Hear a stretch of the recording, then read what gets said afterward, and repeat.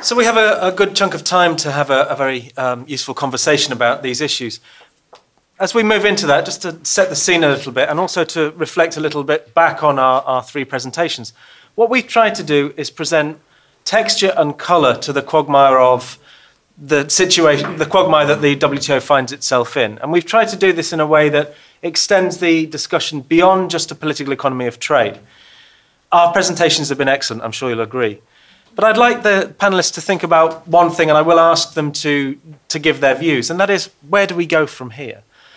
You know, Alan talked about borders, and we're now moving into a, a world order characterized by the erection of borders, um, something that in my lifetime reverses a trend. Whether it's Donald Trump's first principle of immigration, where a nation needs borders to be a nation, and a fence on the southern border is essential, or whether it's the Calais super fence, the Bulgarian super fence, whatever. We are in a, a world of increasing borders. The other comment I'd like to throw into the discussion is that the task of reforming an institution is a difficult one. We know historically that international institutions are long lived. Very few of them cease to exist. The League of Nations is an anomaly in that. Um, but we also know that they evolve in path dependent ways. Their Weberian trajectories are one of increasing bureaucratization, but actually something that continues to preserve an existing way of functioning rather than something imaginative and innovative which takes an institution down a particularly different path. And I think we can probably point to maybe one or two institutions that buck that trend, but they have been down to, I think, the astute engineering of key executive heads. And I have the ILO in mind, actually, as an institution that's consistently tried to change what it does over a period of time to make itself relevant. Uh, whether it succeeded or not is, is up to you to, to judge. But this is something that is not common among international institutions. So, I invite your questions and comments. Please identify yourselves um, if you could as you, you make your comment. I will also ask our panelists to reflect on where we go from here, and uh, I look forward to the discussion. Okay, I'm going to take them two at a time. So, um, Deepak, if we can begin with you, please. Okay. Um, thank you, panelists, for neat, nice presentations. Um, I have a question which could be addressed to any of them or all of them, uh, which situates the problem they addressed in a longer time horizon and in a wider context. All right. Now, there there has been a persistent and mounting crisis in the multilateral trading system long before the financial crisis surfaced in the United States and the Great Recession that followed in its aftermath. All right? Uh, and the fact that recovery is slow, uneven, and fragile almost everywhere uh, with the exception of the United States and perhaps Japan. Uh, even so, recovery in trade is much slower than recovery in output and in employment. Now, there is a striking asymmetry between the elasticity of trade with respect to output growth. Uh, in periods of boom, hmm, trade grew much faster than output. Hmm, but in periods of bust, uh, uh, it, it is recovering much more slowly than output is or even employment is. Now, this is one juxtaposition that compounds the problem of rescuing the multilateral trading system from what you said is a quagmire or an impasse or a mess. Uh, and each of the panelists presented us, sketched one picture of, of that impasse. Now, if we were to juxtapose upon this dual uh, uh, world a third dimension, and that is uh, the reassertion of, you know, economies became global, but politics remained national. And for a while, uh, the economics of globalization dominated the politics of, of nationalism. But we are getting increasingly, uh, particularly in the European Union, member countries, a reassertion of national identities. So it's not just Mr. Trump in the United States, it's almost everywhere. The UK, France, You see much more acute versions in Hungary and Poland, uh, uh, who would like UK uh, to be kept out of a single market, but want all Poles who migrated to the UK to have the right to stay there. Yeah.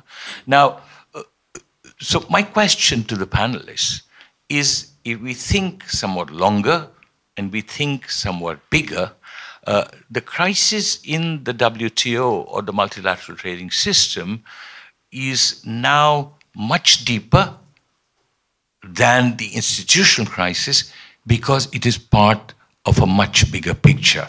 And it's sort of caught in a pincer movement between uh, the slow and fragile recovery in the world economy, which is having a disproportionate impact on international trade flows, and a reassertion of national identities. Uh, ironically enough, the backlash against globalization or markets and globalization has come from the far right in politics uh, and not from the left. So it puts that trading system even more at risk. So, so, so could we try and, and put this together in your reflections a little bit? I have another question, but I will return to it later, in fairness to Thank you, Deepak, for giving everyone a very simple question to answer. Madam, can I ask you to, um, get, to give your um, question, please? It's the lady on the third row. Thank you. So my name is G. Gmol, Gmol Uni. I'm at the Institute of Rural Management in Anand in India. Uh, my question is about agricultural subsidies, and the, I started framing it when Kristen was speaking about the rising powers of uh, countries like India and Brazil India ran into a huge trouble recently with our Food Security Act, where uh, they wanted to give very uh, free, almost cheap food to uh, the poor. Uh, and uh, it came up uh, in the WTO as violating the AMS, your aggregate measurement support. and it didn't go anywhere till as far as I could follow the debate. What happened to it later on, I don't know. So my question is, to what extent? I mean, what happened to that, of course, and uh, this whole issue of rising powers, whether India, China, and all these other countries which are rising, are really able to negotiate anything uh, in in in the context of the hegemony. Still, I would think of the U.S. and the Western countries. And where are we going from here? Given all that Deepak ji was talking about, uh, you know, the strength of the, the of the uh, powers and the stronger regional contexts. Thank you. Um, if you could pass the microphone down to this gentleman here, that would be great. And that will be the end of the first round of questions. I'll then move around to those of you who've also indicated. Thank you. Thank you very much. Uh, my name is Donald Mmari from Repoa, Tanzania. Uh, I have two short questions to Fazil, uh, especially. I was very interested in his discussion. The first question relates to the mega trade uh, negotiation between the United States and the, and the EU. Uh, what do you think will, uh, if it indeed goes through and successfully, what effect will that have on the um, producers from the ACP countries? The second one is the recently um, um, the East African uh, community uh, postponed the decision to uh, sign the EPAs um, with the EU. what will be your advice uh, to the uh, EAC uh, when it, the time comes for them to decide whether to sign the EPAs or not. Thank you. Thank you. So, three very um, uh, important interventions. I'm going to ask all three of you to, to speak to the questions that you feel most comfortable with, but also to ask all of you to speak to Deepak's question, actually. Um, Kristen, you might want to pick up food security on, on top of that, and Faisal, maybe the mega regional question. Um, but Alan, would you like to kick us off, please? Oh, thank you. uh, yes. Um, uh, where to from here, since you posed the question, Rorden? It's very difficult to know. Um, the presumption that things can only get better, things can only get more globalized, and so on, uh, are clearly uh, mistaken.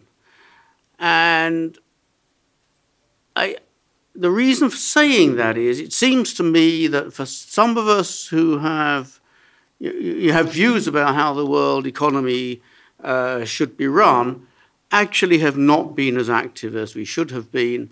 Uh, one in trying to explain what it offers, and two, perhaps, in, try, in recognizing uh, that not everybody gains at all, or at least not everybody gains to the same extent.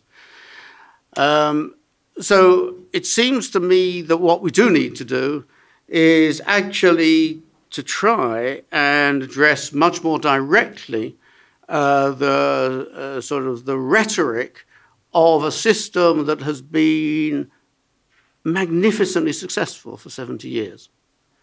And, you know, in Britain, we've bounced our way out of the EU largely uh, because no government could ever bring itself to say anything nice about the EU. They just blamed all the nasty things on the EU.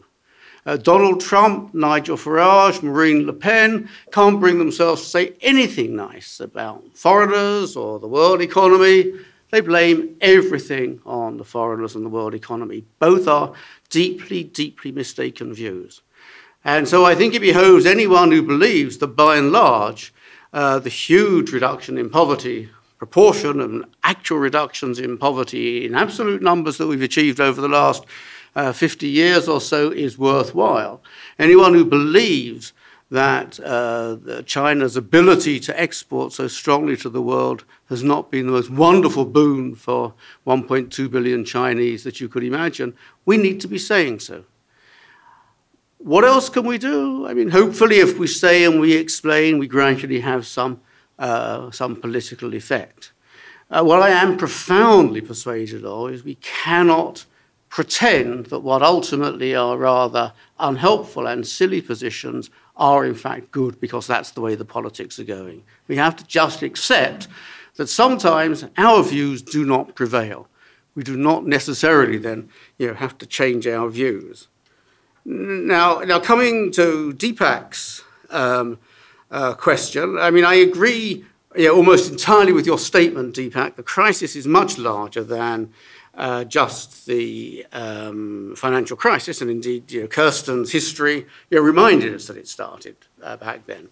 Um, and again, I think the issue is partly one that we haven't explained what's going on. For myself, I'm not very concerned that trade isn't growing as fast as GDP. Um, the huge boom in trade relative to GDP that we saw over the last 50 years was uh, quite substantially helped by uh, logistical developments, containerization, and so on, and was also uh, very obviously helped by the fact that we have uh, global value chains again. We are shipping, the growth of trade has mostly been in intermediate goods. Trade is measured as a gross measure. All right, you ship a good in, it counts as an import. You screw it into something else and ship it out, it counts as an export. That's been counted twice in trade data. Uh, GDP is a net measure. You net out the value of those inputs. And so it's not surprising that when you move to a production system that involves more transfer of intermediate goods both ways, that the trade to GDP ratio rises. So while I don't in any way want to deny that we need to be watching what's happening, and the Global Trade Alert, Simon Evenett's uh, you know, outfit, has, has um, identified plenty of restrictions on trade that I think must be having an effect on the numbers. Uh, we shouldn't conclude that it is inevitable uh, that the growth rate of trade should be 30, 40, 50% higher than the growth rate of uh, GDP. How do we address the longer term crisis? Again, it seems to me uh, it's incumbent on us, people like us basically, to try and get the rhetoric right, first of all. Well, get the analysis, do the analysis, but then be prepared to tell people what we think and accept that indeed not everything is clear and that we might uh, indeed uh, uh disagree with, uh, with each other. Uh, I don't think, in terms of sort of the WTO and so on, it seems to me again that you know in a sense, what we need to do is to recognize that trade is a pretty rough old business. Uh, the idea that every single round should always close in success, you know, maybe is over optimistic and just take the knock on the Doha round and say, you know what? That doesn't invalidate the sorts of things that we were trying to do. There are still trade restrictions that are not very helpful, and we ought to get back and keep trying. Uh, I, met, I attended a meeting of uh, senior civil servants about six months ago where the British government has a periodic strategic exercise, and I was invited to a meeting about the long run um, uh, future of trade. I made a rather, uh, it turns out, a prescient but unpleasant joke. I said, well, uh, Britain will vote for Brexit, and then the rest of the world will see how important trade is. We take a hit for the rest of the community.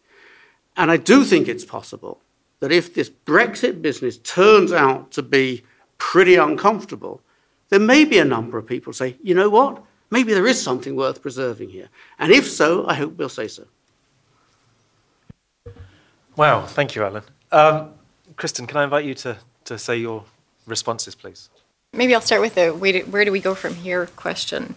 Um, I think it, the the objective of trying to secure uh, you know, some kind of international trade agreement, whether the WTO or elsewhere, that you know contains a real significant development component, is increasingly difficult, and specifically because of the U.S. I think in the U.S. there's a strong sense of a country under threat, um, economically, also politically, and that makes the U.S. extremely unwilling to agree to any kind of agreement that's going to you know significantly advance the interests of developing countries.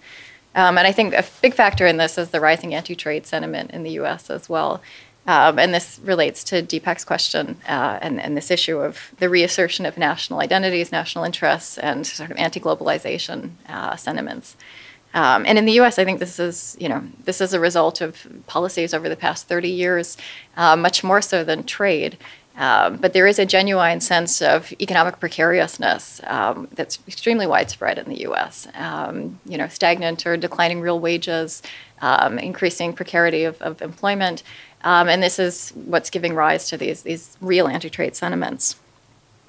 Uh, so these are types of things that would need to be addressed in the U.S. by domestic redistributive policies. Um, these aren't something that can be uh, tackled through international agreements, but they're certainly something that would impede any any future international trade agreements. Um, turning to the issue of, of agriculture subsidies, um, yeah, so India had this this massive food security program that it launched, um, providing subsidized food to you know, 800 million people in the country. And as a result of this massive subsidization, this this food stockholding buying program was potentially in danger of breaching its WTO commitments. Um, so what's happened on that issue is at Bali, it was able to negotiate um, a, sort of a temporary exemption um, to enable it to continue its food security program um, in, until some kind of permanent solution can be reached. Um, but this is an, a problem that goes well beyond India. Um, one of the other dramatic changes we've seen at the WTO over the course of, um, particularly since about 2008 onwards, is a dramatic increase in emerging economy agriculture subsidies.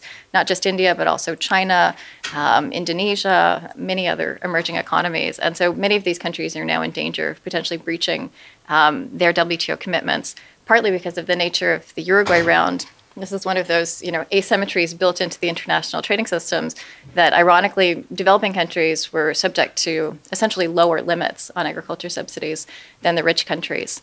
Um, so many emerging economies, or several emerging economies, are in danger now of breaching their commitments. Um, so this has emerged as one of the hot button negotiating items at the WTO now in sort of the, the post Doha round world where they're trying to see if they can reach agreement on smaller issues. Um, this is one of the, the key ones that's been identified, and it's been identified as a priority objective for the, the upcoming ministerial meeting next year. Um, but here, it's again primarily come down to a conflict between the US and China. So uh, the US just took a case against China last week on its uh, agriculture domestic support. Um, and in terms of the negotiations themselves, the US now is refusing to take any action in reducing its agriculture subsidies if China and the other emerging economies don't commit to do the same thing. So partly this is the US using this is an excuse not to take action on its own subsidies, but not entirely. It does have some genuine competitive concerns about the subsidies that are being provided in these countries as well. Um, so China, India, the other emerging economies make the case that there's something qualitatively different about their agriculture support, uh, that it's you know being used to address rural development concerns, the massive rural poverty that these countries face. Um, but many on the other side argue ultimately a subsidy is a subsidy, and it has the same effect on global markets, on poor producers in other developing countries, whether that subsidy is coming from China or it's coming from the US. So I think this is probably the most contentious issue right now in WTO negotiations. Um, and one you know, issue of, of potential concern is that because of this impasse between the U.S. and China, where China is refusing to take action on subsidies um, because you know it, it, sees that as something that was not part of the Doha round, something that you know is really the U.S. trying to go beyond um, the promises that were made in the past. So China's refused to, to budge on, on agriculture domestic support. So you have again this U.S.-China impasse, and the result is that other developing countries um, who are negatively affected by these subsidies are, are finding themselves sort of you know the losers in this larger this larger game. So uh, the cotton four countries who have been pushing for an agreement to, to lower cotton subsidies um, are you know facing great resistance now. That's basically impossible because of this U.S.-China impasse uh, and the refusal of both countries to, to try to address the subsidies issue. So this is the concern about these larger tensions between the new and old powers. What are the implications for the rest of the developing world? And it's it's potentially quite negative. So, thanks. Thank you, Kristen. So, geopolitics with the WTO. Faisal, an appropriate moment for you to come in. Thanks. Okay, well, uh, uh, I'll venture to, uh, you know, uh, try and address Deepak's question, which is the big question.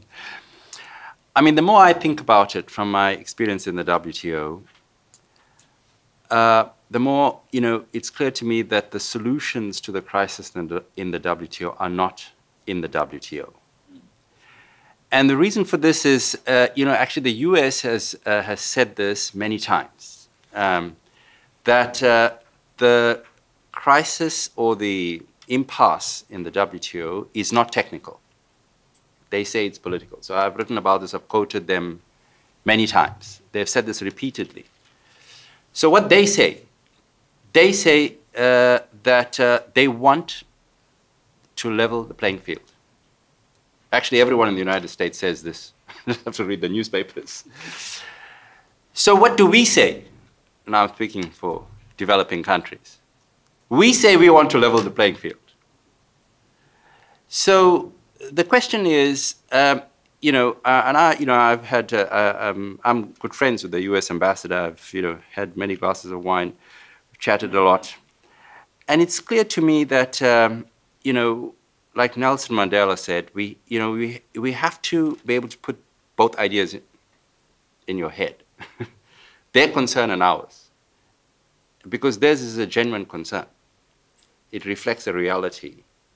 By the way, it's not only in the US, what the British, you know, uh, referendum shows, you know, those sentiments are there too, and in Europe and in many parts of the developed world. So we have this, but you know, this is not uh, some things that should surprise us because in the last few years we had many people analyzing the, the global economy and they saying that um, you know inequality is the big issue.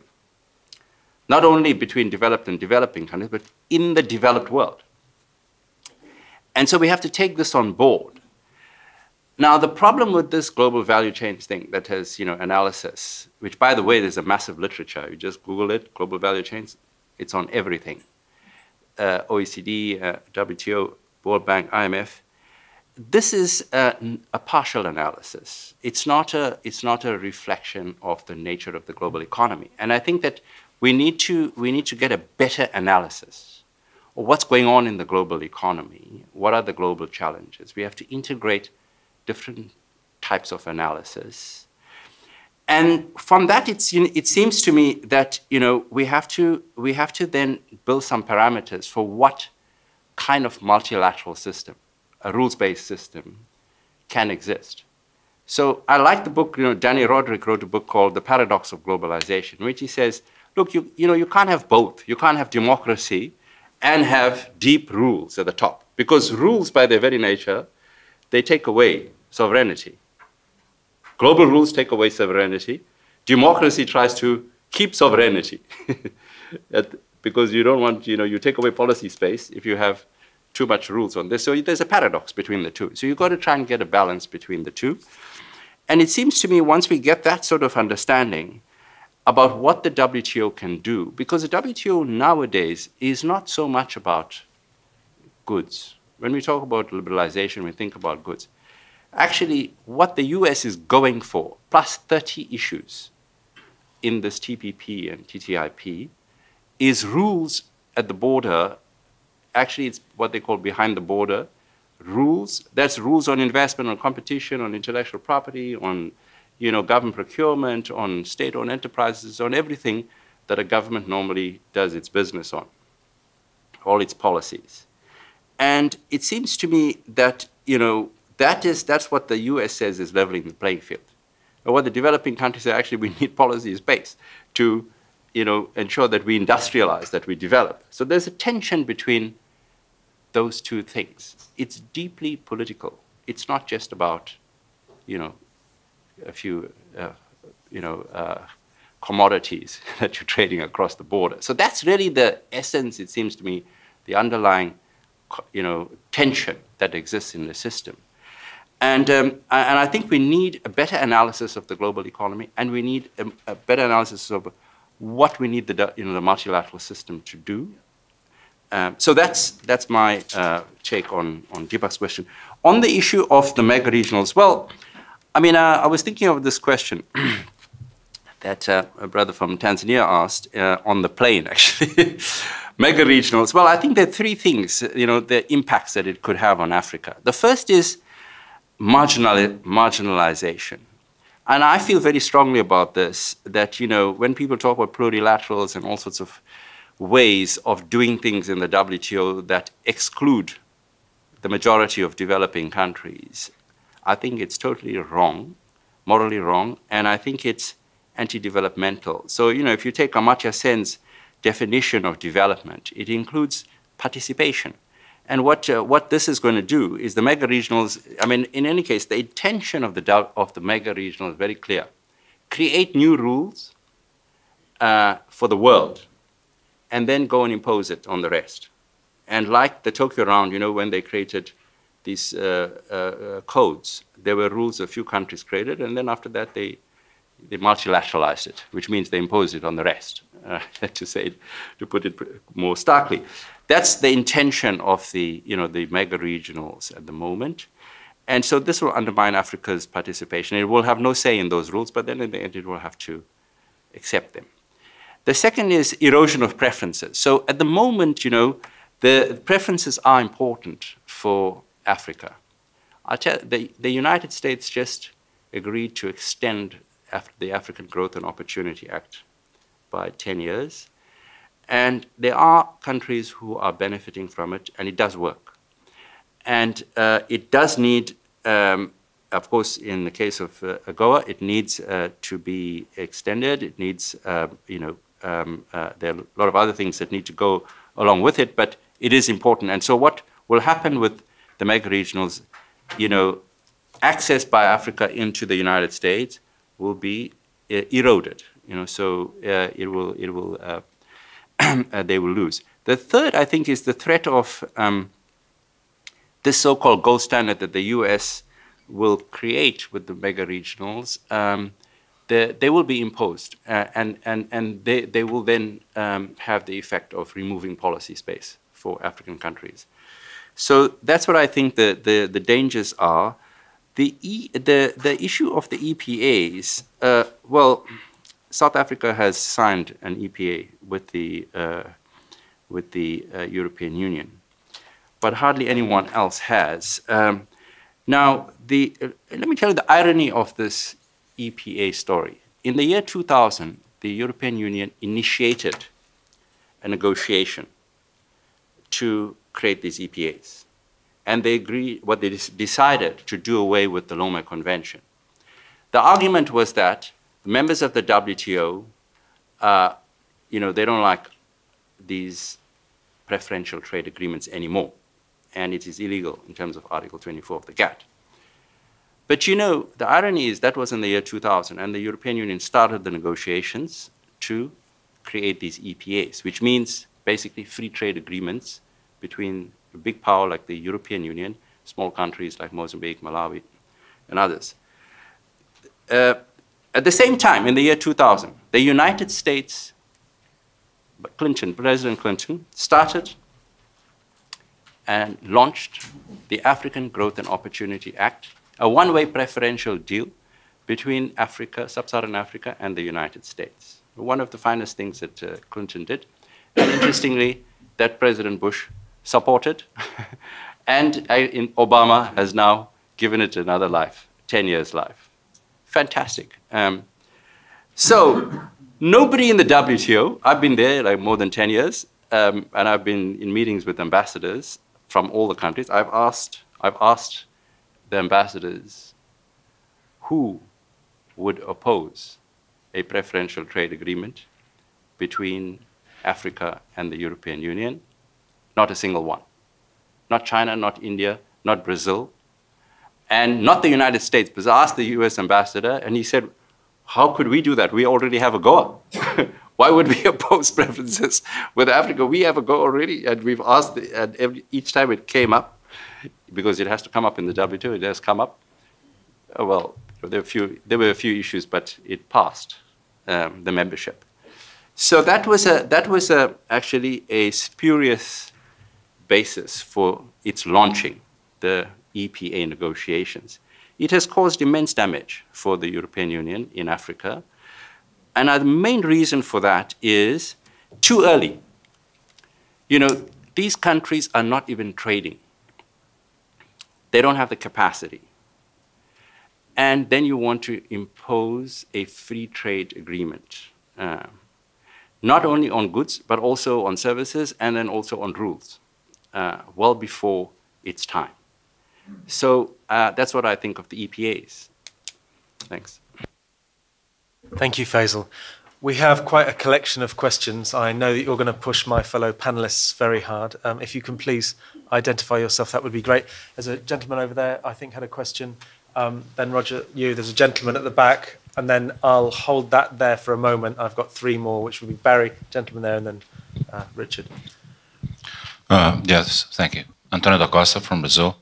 Um, most of my questions, to a certain extent, have, have been addressed. Um, I was curious, um, nevertheless, uh, um, the impression that I have of, of um, mega trade agreements is that they are involving rather than progressing in any sense. Um, and the reaction, uh, which is uh, local and national, is very strong. Um, keep reading the news, so I was wondering uh, if you could, any of the panelists could address um, how they see the perspectives of these big trade deals, um, Pacific and Atlantic both, um, going forward, and, and what would be the impact if they do of, of to the WTO regime.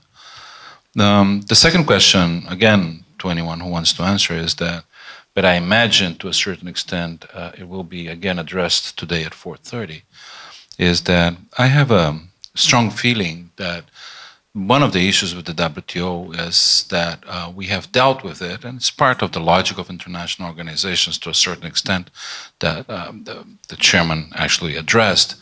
Um, it has been linked to discussions on changing of IMF, World Bank, um, Bretton Woods institutions in general. And, um, and the central point, I think, is one that, again, some of the emerging powers like Brazil have addressed, which is a process of democratization of these institutions, allowing, therefore, for a stronger voice of developing countries within those institutions in pursuing certain goals. Uh, it's not to question the liberal order, whatever that means, I'm not so sure what it means, but rather um, bringing in strongly this component of democratization of these institutions and therefore allowing a stronger voice for developing countries. So I wonder if you could address that. And finally, a small question to the chairman himself, because I was curious and, and, and I heard that. I hope I, I understood correctly. You said um, that there will, would be issues with rules of origin from seabed exploration. I hope that's what I heard. Um, as I have been involved for over four years with the Seabed Authority, um, I was curious to understand exactly where that's come from because we're not even near marketing any of the things that we're taking out of the sea at all, and we're taking very few. So the question then is, how would we do? Because actually, the seabed regime is a very interesting regime because actually you're trading uh, global goods, which is a very interesting thing that we haven't seen yet. We will still yet to see, but it is a global commons being explored and therefore a common, a global good. That, those are my questions. Thank you. Uh, uh, that's a very easy thing for me to answer, actually. It was about 50 years in the future we might collide with uh, rules of origin and law of the seas, but maybe we can talk about that afterwards. Roger, can I invite you to, uh, to speak? I'm very sorry to run you across the room. Our next question is all the way over here. This is a kind of workout session in the middle of a, uh, middle of a thing. Thank you. Um, I have a direct question for Faisal. Uh, Faisal, uh, it's really interesting to be in the room with somebody who's in in the room with the trade negotiators or been in the room with the trade ne- negotiators. And coming from a middle-sized power, I want to know what it's really like uh, experientially. Are the real problems when you're, for example, confronted with the uh, big, big delegations like the US and EU people? Are they the complexity of the issues and the uh, and the you know the size of the challenges, or is it uh, that basically you're up against a hugely larger, uh, specialized team? And you know, coming from a from South Africa, you're relatively better off than many of your African uh, uh, fellow negotiators. What's it really like in those situations? And is it just that there are too few of you and you're up against you know, these uh, ultra well trained, huge delegations? Or is it the complexity and weight of the issues that's a difficult thing? Thank you, Roger. Our final question from this round is the gentleman at the back in the white shirt. While, while you complete your workout, I might add that uh, Faisal is a connoisseur of fine wine, Roger. So if, you would, if he doesn't give you what you want now, perhaps you can. Uh... Thank you, uh, Andy Sutherland from King's College London. Um, so I have two questions. One, one is relatively simple. One is, is more complicated. The simple one is I wanted to panel say a bit more about the, the kind of the tier of emerging economies below the BRICS the kind of Indonesia was mentioned, but of course there's 20 or so other countries that probably fit into that group, and that's a much bigger group uh, than than the BRICS alone. And I wondered how important or what role you might see and what role you've seen those those those group of countries playing. And then the second country, I was I'm thinking some more just about the the kind of anti-globalization backlash. Um, so in the, in, in, in the UK, the narrative seems to be Brexit was about the marginalised voting against globalisation. But that doesn't really explain the millions of prosperous pensioners in the South that voted for, for Brexit.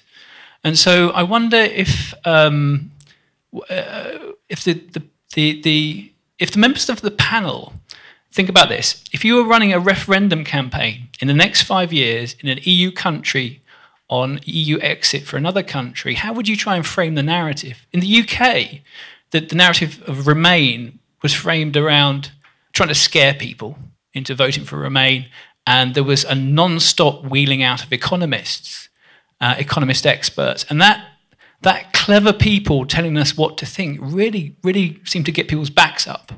Um, and so I wonder if, if you were running one of these kind of referendum campaigns, how would you how would you frame that vote? And I and I, I'm not convinced that marginalisation explains it.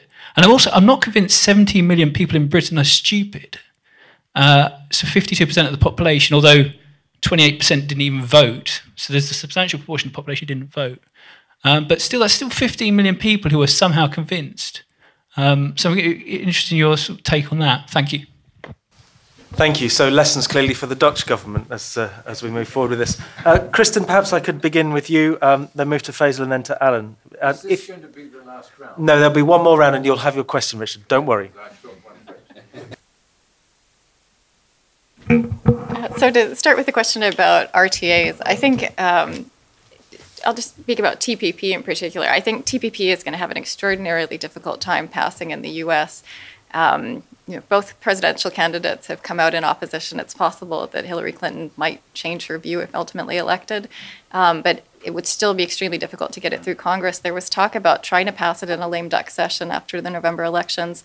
Now it looks like that's not even viewed as feasible. So I think, um, although the agreement's been negotiated and agreed, I think ratification in the U.S. is the chances are really slim at this point. Um, the, the issue of democratization of these international institutions. I think that's definitely exactly what we've seen at the WTO the rise of Brazil, India, China, South Africa. Um, some of the other second tier emerging economies have dramatically changed the dynamic within the institution, and they have made it a much more equitable institution in terms of the negotiations. They've really served to right some of the imbalance between the developed and the developing world.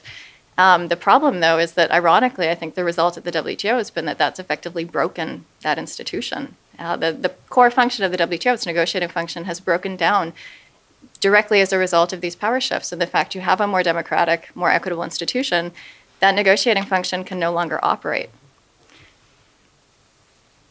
And just uh, on this question of the second tier emerging powers, I think it varies very much state by state. So certain countries, Indonesia, the Philippines, have been particularly active. Argentina is another. Um, they've played quite a role in the negotiations, sometimes leading or being involved in some of these coalitions. But still, their role has been sort of secondary compared to the, the core powers, particularly Brazil, India, and China. But the weight that they've been able to add, and also some of their technical capacity as well in some of these issues, has been important. So, yeah. Thank you. Thank you. Yeah, so I think the, the one question was um, the mega regionals um, and uh, the, um, you know, what, what will happen uh, to the WTO. Well, there's, you know, the, well, we don't know, but what we do know now is that the, the US has a clear intention to, uh, once agreed and once ratified, to then impose the mega regionals uh, on the rest of the membership of the WTO. Of course, there, there are all sorts of uh, you know, ways in which that can be done. So there are many uh, trade lawyers and we've written papers on uh, how you, know, you can square the circle between uh, an RTA and uh, multilateral system. So you know, that can be done. But of course, what can't be done that easily is uh, you know managing the the, the the, the tension, the political tension between you know what will then become a formidable force, the United States plus the Quad, interestingly, the old Quad, which is Canada, Japan, and some of the uh, uh, the rest of the OECD. Uh, you know, then sparring really with uh, the rest of the membership of the WTO, and that will be done, uh, you know, piece by piece, part by part. um, it, you know, with bilaterally with different countries. Um, so I think that that scenario is one of uh, you know a great deal of tension uh, in, in in the world trading system. That that's that's what I see happening if you know the the U.S. succeeds in getting the the mega regionals off the ground. Um, the it isn't the Tokyo round. Uh, you know, the Tokyo round, there, there, there was agreement by, by these plurilaterals, uh, which is basically the OECD countries. And then, of course, the, the, uh, the, the, agreements were um, multilateralized, you know, in the Uruguay round.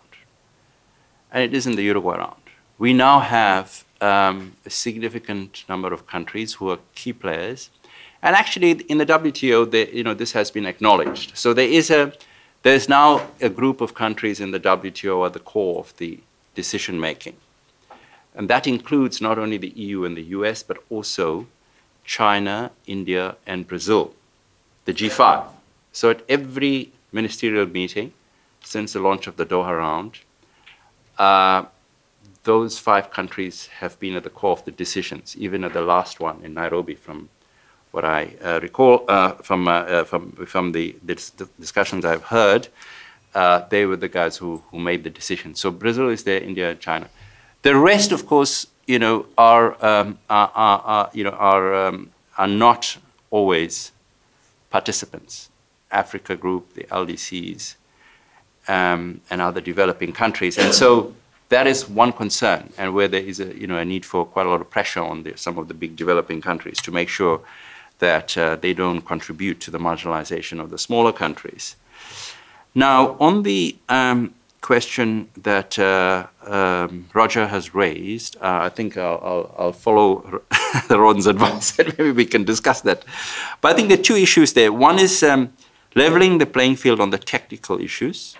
Well, we've done that. You know, interestingly, from as from Cancun, with the especially with the creation of the G20, uh, you know, and then of course the other groups.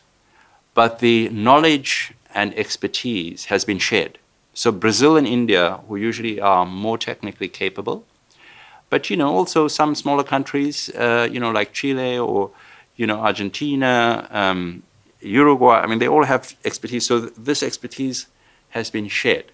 So we've managed to, I think, um, level the playing field on the technical capacity with the United States and Europe on every technical issue. You know, the, we've matched them. On the bargaining capacity, so the other thing is, uh, when the negotiations were taking place, we matched them.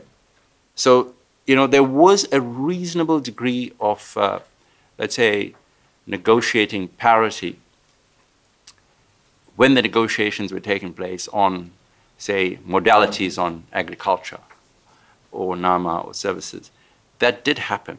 And so, as I said, there were deals struck and compromises reached.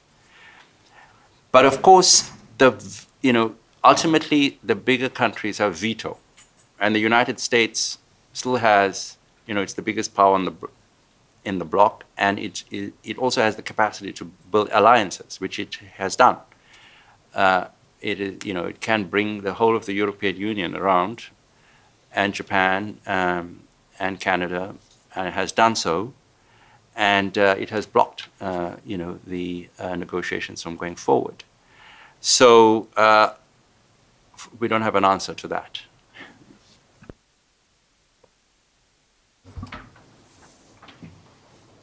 Um, so I'll try and be very brief.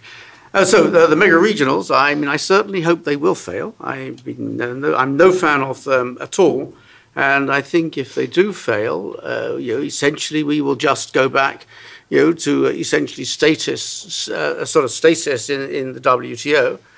And the important thing there is to make sure that the WTO as an institution, in a sense, you know, uh, uh, carries on doing as much business as it can quietly through committees, perhaps through the dispute settlement process, uh, because eventually someone is going to want to talk about something. And it will be very useful to have an institution that is there. Um, so I think uh, the prospect, I don't know, I'd hate to give uh, prognoses, but I, I think I agree with Kristen. I think it's pretty unlikely now that we're going to get either TPP, and if we don't get TPP, we won't get TTIP. Um, and, and, and that's what I would guess. Um, a comment on just below the BRICS, and in a sense, a reflection on what Faisal just said about negotiations. I mean, I think, I think that the conversation we've had this morning has sort of. I know everyone knows this is not true, but sometimes it does sound as if we believe there is one group called developing countries, and it's really great that the three biggest powers in developing countries are now sitting at the table. But don't believe that China or India or even Brazil are going to be more benign than the US and the EU. And so for the next tier, in a sense, that's part of what they've got to start thinking about. Um, and you know, it would do them well. They're, in, they're not going to be benign either, but they have interests, and it maybe they can organise themselves, as it were, to get some of those through. But we should not believe that all is well. There are three big developing countries at the table. It's actually not like that. And then finally, Andy's comment about anti-globalization. Um, I mean, I think you're exactly right that it is the Brexit. Um, the Brexit vote was not pure anti-trade globalization, the left behind. But I mean, this group of pensioners. If we look at the geographical spread, it's clear that it was among the people who are not internationalized, in the areas that are not internationalized. And if you, you mentioned the pensioners, I mean, the things, the things that we heard from the pensioners is one, concerns about their families, uh, sort of things like cost of housing and so on. Secondly, very uh, vehemently, migration. And thirdly, remember that we, they come from, they have at my age, it hardly behoves me to say this, but they have an old world view. My father, my, my father is a great liberal, but my father can't quite, you know, get it up for migrants. He, you know, he's not offensive or anything like that, but he doesn't feel it viscerally. This is a group that knows about the war. They succeeded. It is Great Britain. And I think you put a roll all of that together, it's not at all difficult to understand why nearly two million more people voted for Brexit than voted against it. So uh, you know, I don't think you know, that in a sense is a great mystery. And given the sort of the feelings about migration, about the sort of isolation of Great Britain, it is basically a sort of a, a, a opposition to globalization. What's the narrative in the next campaign? Well, it is clear that the campaign was uh, grotesquely mishandled in Britain. I think you know, that's among many appalling things that that government uh, did. But on the other hand, uh, we we should not accept Michael Gove's statement. Uh, those of you not from Britain perhaps didn't hear this, but Michael Gove, a leading advocate of Brexit, said, "Oh, we've heard too much from experts now." that, that, I mean, that is a catastrophic position. And so we have got to be very clear what we know, what we don't know, what it means for people. And uh, Rorden and uh, Faisal have joined me in an enterprise in Britain uh, uh calling the UK Trade Policy Observatory, one of the objectives of which is to try and have a belated conversation in Britain about trade policy, what we actually need, not with a view particularly to uh, persuading people or shifting information, but actually just with a view to explaining to people what's going on. And so I do think that um, we, mustn't, we mustn't quit on the idea that the world heard from too many economists. The economists must just be a little bit more humble and they mustn't be uh, associated with a purely project fear. Thank you, Alan. Uh, we have time for three more questions in just 10 minutes. My apologies to those of you who can't ask a question. Richard, I'll invite you first, uh, then, uh, then Barry, and then the gentleman over there. It's quite a short lunch hour. It's a did you hear that? It's a very short. Yeah, no, no, no. My question is um, really a question. I'd like from each of the panelists, um, what would be your one priority for action in this area, and by whom? I can stop there. I'd love to say more. Thank you, Richard. Wonderfully succinct. Uh, Barry Gills, please.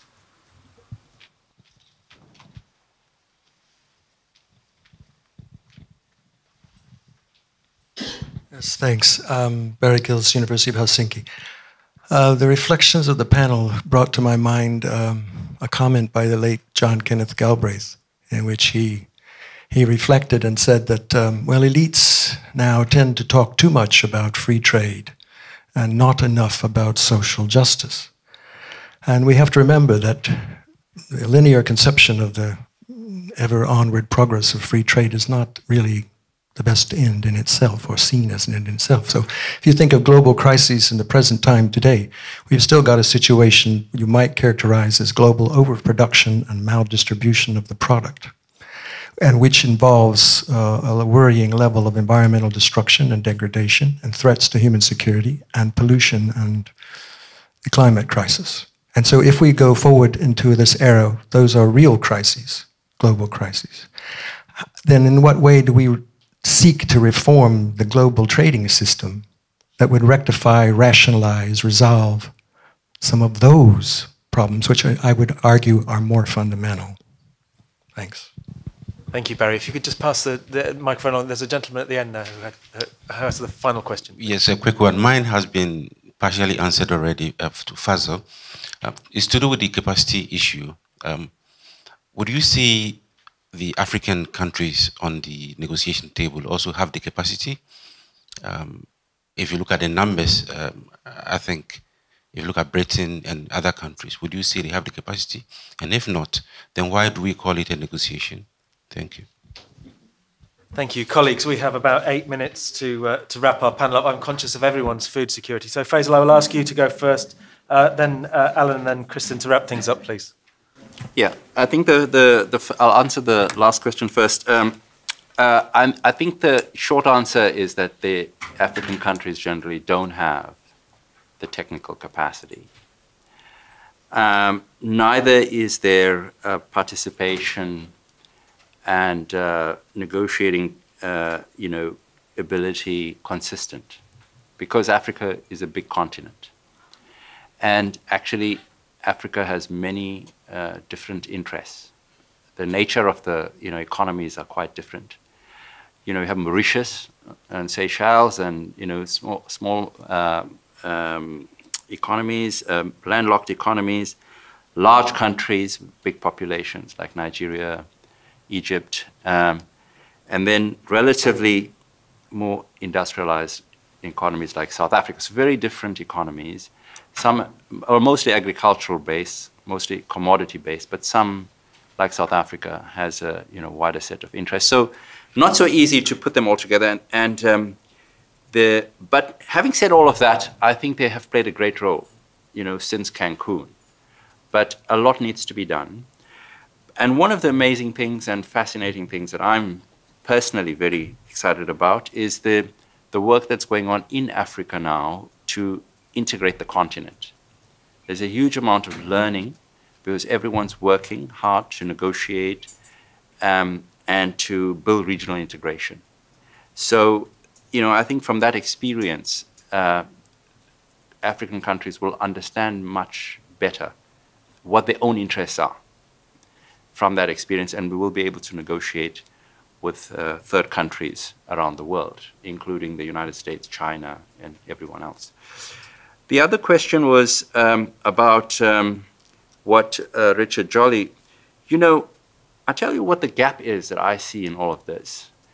I, I don't know what we can do. I know there's no point saying the United States should do this and that, or Europe, or China, or India, uh, because actually, uh, what is that going to do?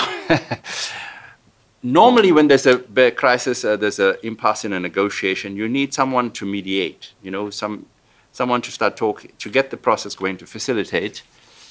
You know, we don't have many people like that. In fact, we, the, norm, the normal suspects don't exist. Before it used to be, you know, the Swiss or the Norwegians or the Swedes or somebody. But uh, actually, they, they are all, uh, they've taken sides. So uh, I think what we need, you know, when this global value change thing started, very interesting. I need to write a paper on it one day uh, with Rorden's help which is about how an epistemic community evolved, you know, around this new narrative. But why don't we create our own epistemic community? Starting here, you know, in this room with the United Nations, since we are in this building, and create a group of people around the world, north and south, with the same set of values. People want to rebuild the multilateral system, which is broken, or let's say, you know, revitalize it given the new realities of the world. And I, I think that you know, the multilateral trading system is very important. What we have in the WTO is a, is a good basic framework. It needs a lot of reform. Um, and, uh, you know, but we need a better analysis of the global economy. We need a better analysis of what the key challenges are. Um, in the in the world uh, uh, today, and uh, what would be you know a better response to the ones that are being put forward. So that's what I would suggest. Epistemic community. Let's start here. Thank you. Thank you. Primary problem is this issue of inequality, and the primary action needed is redistributive policies and mechanisms to try to uh, lower inequality. And I think the problem is that the global trading system isn't necessarily the right institution or set of actors to try to address this problem.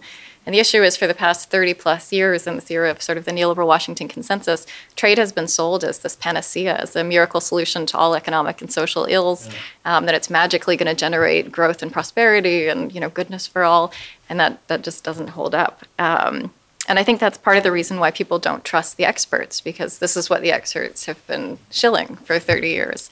Um, and it hasn't panned out. So I think I'd say, yeah, we need much more nuanced and careful analysis and, and rhetoric to match. Um, and I think also the, the other problem with the trading system, it's an adversarial system, you know, set up around negotiations amongst self-interested states, and that's not necessarily the best forum to try to address um, these large-scale issues of inequality and distribution. Thank you. I can be very brief because I agree with both the previous answers. Um, I think um, you know the priority for action. I wish I had something really concrete and uh, plausible, but uh, uh, like Faisal, I think we've come to a period where we shouldn't uh, be having too high an expectation of our political masters and and what they will achieve when they get together in international institutions. But that doesn't mean to say that some of the basic principles of multilateralism have disappeared. And therefore, it does seem to me, I don't know whether a group uh, constructing a group that all had the same view, in a sense, is feasible or actually solves the problem of getting everybody in. Uh, I, my own instinct is much more that we need to have a pretty vigorous and um, uh, debate in which there will be quite a lot of disagreement, but in which I hope, you know, as it were, people rather than be adversarial and wanting to win that particular point uh, at any cost, will actually be moderately open-minded and recognise, as some of us have done for a long time, you know, that there are things that are good but are not universally good for everybody. And that takes me back, you know, to Barry's point. I, I mean, it, it, it's certainly true that there was a period uh, in the late 90s, really, where we had immense hubris. Uh, the, um, the Iron Curtain had come down, we'd created the World Trade Organization. I mean, it was frankly mindless. It started getting unpicked around 1997 or so. And there is a sense in which a lot of the combatants, shall we say, in that uh, debate didn't really manage to get off their hobby horses and their high ground for a decade. But it, there was actually quite a lot of debate. If you look, uh, I, I, spent some time actually going back over Oxfam's writings, and Oxfam changed its view quite a lot from uh, 1995 onwards. If you look at the writings of academic economists on international trade, indeed, you know, th there has always been a recognition that will be losers. We go back to the famous Stolper-Samuelson theorem of uh, 1942 or something. Uh, you know, it, it was very clear there'll be a winner and a loser. It's not something that is new to academic economists. What's, you know, in a sense has happened is they've fed a line which some people then have blown up out of proportion. And therefore, it does seem to me, you know, that, that we need to have uh, some more, I don't think it's humility, I just serious recognition of what our science and our study tells us, that indeed trade is pretty uh, difficult to handle. It has distributional uh, consequences that you just uh, cannot avoid. And recognize, therefore, that if you have a democratic society, if you feel a responsibility uh, for the vast majority of people in a community, you do have to couple trade with other things uh, in order to get the benefits of trade, which are massive. I mean, you, you had an orange for breakfast this morning. How many had an orange for breakfast this morning? A Finnish orange? Of course it wasn't a Finnish orange. You know, it, trade brings wonderful, wonderful things. The issue is what do you do about the sort of gritty, rough edges uh, that you've got around.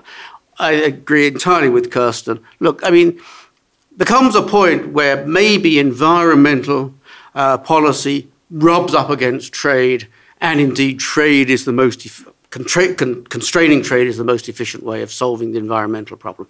But almost always that is not the case. almost always you need to tackle environmental problems with environmental agreements, as we are doing, uh, and so on for you know, um, uh, you know, um, antimicrobials, with antimicrobial problems and so on. Well, trade looks like a handle and people want to co-opt the trade dispute settlement mechanism, which is almost unique in world institutions for whatever they're aiming at. And so I do think that part of the rhetoric has to be to say, no, no, there are specific problems, we can tackle them in ways that, you know, they don't overlap except on the very margins. Under those circumstances, trade does not dominate. It's exactly right. There are things, there are occasions when we should be able to say, uh, all our theory suggests that liberalizing trade will increase aggregate output but actually it's not worth it. I oppose TPP. Uh, that is exactly the reason. I think everything that comes with TPP is just not worth a quarter of a percent of US GDP. Thank you, Alan. Thank you, panelists, for a very fruitful discussion. Thank you all for contributing to that.